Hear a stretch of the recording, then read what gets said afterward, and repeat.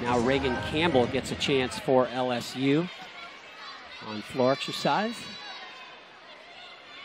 Ruby Harrold starts with a 9.825, so a very good start score for LSU in this rotation.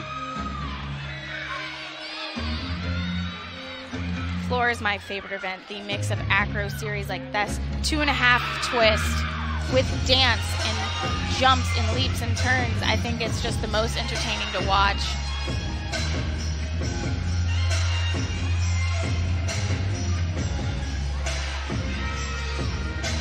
Their volunteer assistant coach, Ashley Claire Kearney, is responsible for their choreography, which she always does a great job. Second tumbling pass, big double back.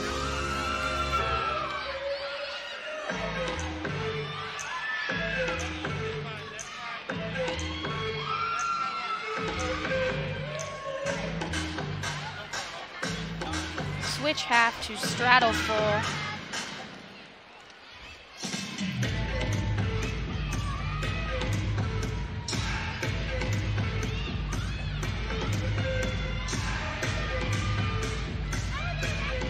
So far, so good for this second person up on LSU's floor lineup.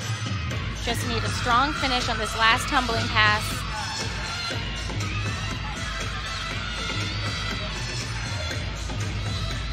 Round off one and a half front layout. She nailed it. Her teammates are loving it. This is what you want to see your team do in moments of adversity.